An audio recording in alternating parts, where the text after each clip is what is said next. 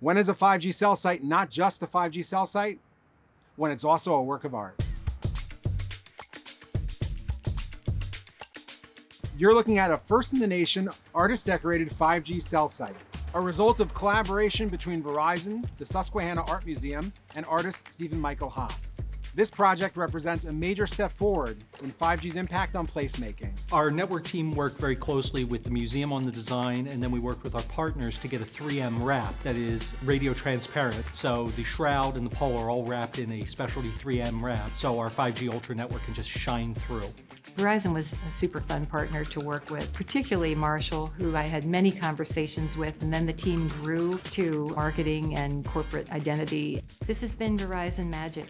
This isn't the first time Harrisburg has seen Verizon's creative flair. Last year, we unveiled a mural from Pennsylvania artist Allie M. Williams at Strawberry Square here in Harrisburg.